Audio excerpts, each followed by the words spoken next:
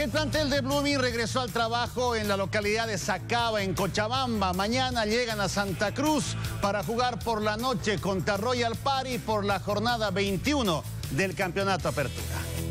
Blooming retomó los entrenamientos en Cochabamba en el proceso de aclimatación que continúa llevando adelante al mando del técnico Erwin Sánchez. La Academia Cruceña cerrará prácticas en el Valle para disputar el compromiso de este miércoles en Santa Cruz ante Royal Party en el Estadio Tawiche Aguilera a las 19.30. Igual que nosotros, mismo que el profe piensa, nosotros igual pensamos que ahorita estamos bien ahí arriba, entonces tenemos que seguir ganando. El estratega cruceño no podrá contar con el defensor José María Carrasco ni con el delantero Gabriel Ríos, ambos por acumulación de tarjetas amarillas. A contrapartida retornará al equipo titular el atacante Leonardo Bacá. En esta instancia de, del campeonato, cada partido va a ser como una final.